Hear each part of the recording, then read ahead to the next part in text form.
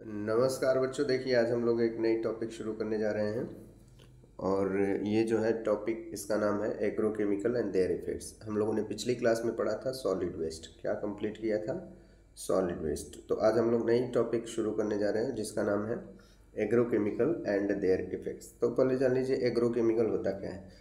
हमने बताया था कि आपको पता भी होगा कि जो ग्रीन रिवोल्यूशन था तो ग्रीन रिवोल्यूशन में सेमी ड्वार्फ वैरायटी वगैरह जनरेट की गई, जिससे भारत में मतलब भारत में जो father of green revolution consider किए जाते हैं, वो एम एस स्वामीनाथन है।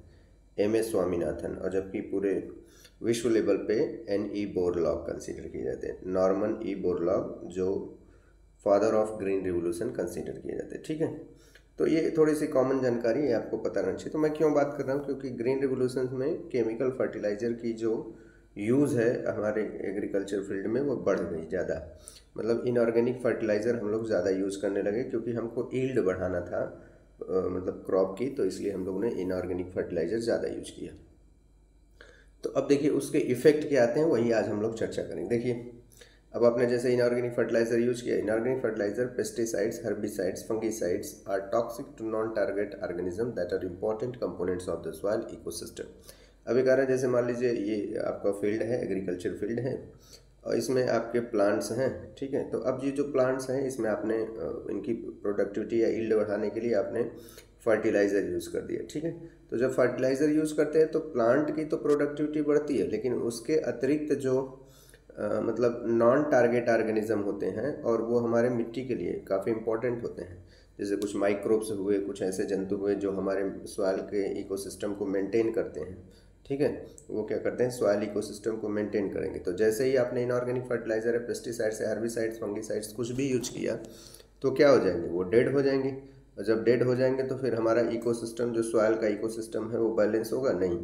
वो बैलेंस नहीं होगा। तो यही डिफ़िकल्टी आती these are biomagnified in the और ये जो मतलब आपके पेस्टिसाइड्स होते हैं, जैसे हम एक बता रहे हैं D D T dichlorodiphenyl trichloroethane D D T mercury अब मैं, मैं पिछली क्लास में बात कर चुका हूँ बायोमैग्निफिकेशन में तो आपको ज्ञात होगा कि ये एकोमुलेट होते हैं ईच सक्सेसिव ट्रॉफिक लेवल पे। तो ये जो सब्सटेंस होते हैं ये biomagnified in the terrestrial ecosystem जैसे आप थोड़ी सी कंसनट्रेशन में डालते हैं धीरे धीरे वो क्या होता है उसका जो आ, आ, मतलब कंसनट्रेशन है वो बढ़ता रहता है। तो यही मतलब इनऑर्गेनिक फर्टिलाइज़र के ये सब इफ़ेक्ट्स आते हैं तो वही हम लोग देख रहे हैं। केमिकल फर्टिलाइज़र कॉर्ड यूट्रोफिकेशन अच्छा यूट्रोफिकेशन, जैसे हम लोगों ने पिछली क्लास में पढ़ चुका था, यूट्रोफिकेशन तो वो आपको क्लियर होगा, वो मैं फिर से नहीं बात करने जा रहा हूँ। तो केमिकल फर्टिलाइज़र क्या काज करता है? यूट्रोफिकेशन, ठीक है? अब देखिए, जैसे यहाँ क्या कर रहा है केमिकल फर्टिलाइज़र यूज़ कर रहा है, और ये मतलब एरोप्लेन नहीं हेलीकॉप्टर है हेलीकॉप्टर से अपना ये स्प्रेड कर रहे हैं। तो इसके कुछ इफ़ेक्ट होते हैं, वही देखिए। अब देखिए, इसको मतलब रिड्यूस करने के लिए जो मतलब एग्रीकल्चर या एग्रोकेमिकल था या इनऑर्गेनिक जो फर्टिलाइज़र हम लोग यूज़ कर रहे हैं, उसको कम करने के लिए ये व्यक्ति जिसका नाम है रमेश चंद्र डागर, ये कहाँ से थे? हरियाणा, सोनीपत, हरियाणा से थे। तो इन्होंने एक टेक्निक्स निकाला या एक तकनीक सोचा जिसको हम लोग इंटीग्रेटेड ऑर्गेनिक फ़ार्मिंग कहते हैं। क्या कहते हैं? इंटीग्रेटेड ऑर्गेनिक फ़ार्मिंग तो देखिए, ये इंटीग्रेटेड ऑर्गेनिक फ़ार्मिंग दिया है।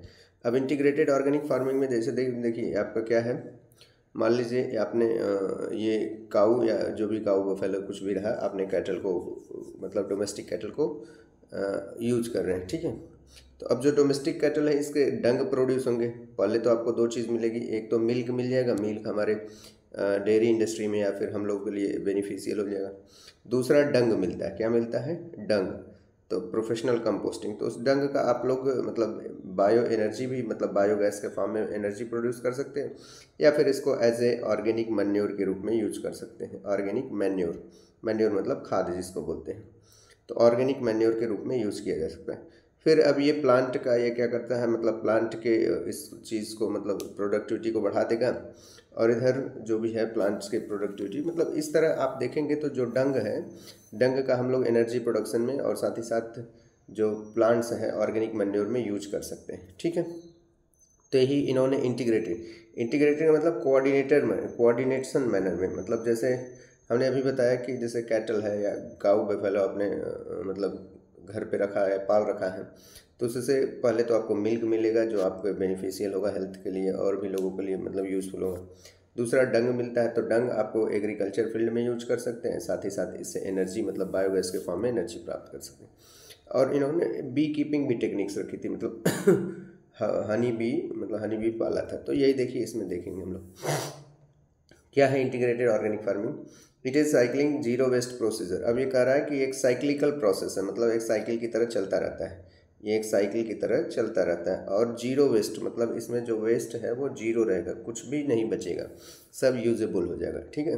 Where waste products from one process are cycled in the nutrient for other अब जैसे मान लीजिए ये साइकिल चल रही है तो जो ये वेस्ट बचा है, ये किसके लिए? जो आगे आने वाला है न्यूट्रिएंट इसके लिए हो जाएगा। फिर ये वेस्ट जो बचा है, ये आगे आने वाली फिर इस तरह ये चलता रहता है।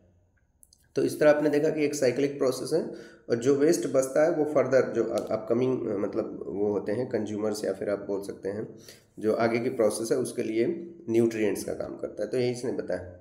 This allow maximum utilisation of resources and increase the efficiency of production अब ये क्या करता है कि जो मतलब आपका सोर्स है या रिसोर्स है उसको मैक्सिमम यूटिलाइज कर सकते हैं। मतलब वेस्ट एकदम नहीं जाएगा।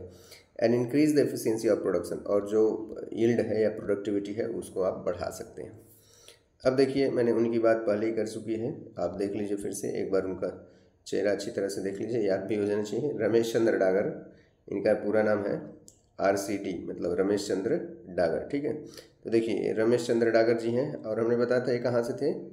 आपको पता होगा कि ये सोनीपत, हरियाणा से हैं। तो रमेश चंद्र डागर ए फार्मर किसान थे, Sonipat, Haryana. Included bee keeping dairy management, water harvesting, composting, agriculture, integrated organic farming. मतलब इस एक चीज़ इन्होंने सेटल्ड किया था, उसी के साथ सबका कोऑर्डिनेशन मैनर में चलता रहा। ठीक है तो देखिए दिखाया गया है। आइए, अब आगे देखते हैं। अब देखिए, इसमें भी वही दिखाया गया है, इंटीग्रेटेड ऑर्गेनिक फ़ार्मिंग में क्या करा है। वेस्ट एंड देयर इफेक्ट्स तो वो तो मैं वेस्ट की बात कर रहा था पिछले मतलब तो क्लास में। यहाँ देखिए इंटीग्रेटेड ऑर्गेनिक फ़ार्मिंग अब इसका एडवांटेज क्या है? मतलब बेनिफिट क्या है? तो अब थोड़ा सा यहाँ पर भी समझ लीजिए, इसमें क्या बता रहे हैं? देखिए कैटल्स हैं, अब कैटल्स का जो डंग मिला है, इसको कंपोस्ट बना के प्लांट में यूज़ कर रहे हैं। और फिर उसके बाद कुछ डायरेक्ट मतलब खाद उद में यूज़ किया जा रहा है, ठीक है? तो प्लांट के कल्टीवेशन में तो यही सब दिखा है। और यहाँ देखिए लिखा है कि ये क्रॉप रोटेशन से आप मतलब नाइट्रोजन फिक्सेशन में हेल्प करते हैं। और फिर ये इंटर क्रॉपिंग सिस्टम मतलब क्रॉप रोटेशन टाइप का ही सिस्टम है। फिर कुछ बड़े बड़े पौधे यहाँ पर आप लगा सकते हैं, जैसे इसमें लिखा है planting the tree along the hill side to control soil erosion तो ये प्लांट जो बड़े बड़े ट्री होते हैं, अगर आप पहाड़ों पर लगाते हैं तो मिट्टी के कटाव को रोकते हैं। और planting rows nitrogen fixing tree तो मतलब आप नाइट्रोजन फिक्सिंग ओवरऑल करने का मतलब है कि देखिए, इससे आप बहुत ज़्यादा बेनिफिट पा सकते हैं। मतलब कैटल आप अगर है रखे हैं घर पर तो उससे बहुत सी बेनिफिट मिलता है। तो वो एक इंटीग्रेटेड ऑर्गेनिक फ़ार्मिंग हो जाएगा। एडवांटेज देखिए, advantage of Dagar's integrated organic farming they support each other and allow and economical and sustainable venture मतलब ये इकोनॉमिकल बहुत आर्थिक समृद्ध था और सस्टेनेबल बहुत लॉन्ग मतलब ड्यूरेबल था, ठीक है? No need of chemical fertilizer as dung is use as a manure अब यहाँ पर हम लोग यूरिया या फिर पोटास या फिर डाई डाई पोटास या फिर नाइट्रोजन ये सब चीज़ें हम लोग नहीं यूज़ करते। यहाँ पर आपको सीधे डंग डंग जो है उसको खाद के रूप में यूज़ कर सकते हैं। Crop waste is use to create the compost, natural fertilizer to generate natural gas, provides energy for the farm. अब मैंने बताया था कि जो क्रॉप वेस्ट है मतलब अगले पौधे आपने उगाए हैं अब वो पौधे का तो जो यूज़ है मतलब फ्रूट अगर मान लीजिए पौधा है फ्रूट वगैरह दे रहा है तो उसको तो हम लोग खा लेते हैं। बाकी जो लकड़ी वगैरह बचती है तो उसको क्या करेंगे? तो उसको क्या कर सकते हैं हम लोग? जैसे क्रॉप की मैं बात कर रहा हूँ क्रॉप में लकड़ी नहीं होती छोटी छोटी ब्रांचेज होती हैं। तो जो उसका वेस्ट बचेगा, उसको कंपोस्ट के रूप में मतलब नेचुरल फर्टिलाइज़र के रूप में यूज़ कर सकते हैं।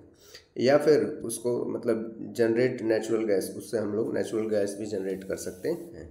ठीक है तो ये रहा रमेश चंद्र डागर जो इंटीग्रेटेड ऑर्गेनिक फ़ार्मिंग था, उसका एडवांटेज अब देखिए इसमें क्या लिया डागर अब ये डागर देखिए, कैसे किए थे? Dagar has created Haryana Kisan welfare club to spread information about integrated organic farm तो जो प्रोफेसर मतलब प्रोफेसर नहीं थे, किसान थे फार्मर थे, ठीक है? तो ये जो किसान थे, ये डेवलप किए थे। Dagar has created Haryana Kisan welfare club to spread information about integrated organic farming तो इन्होंने मतलब सभी किसानों को जागरूक किया। इन्होंने एक वेलफेयर बनाया था मतलब एक क्लब था जो हरियाणा किसान वेलफेयर क्लब था।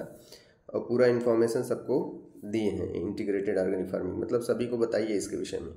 इन्होंने एक एसोसिएशन बना के सबको स्प्रेड किया था मतलब सूचनाओं को स्प्रेड किया।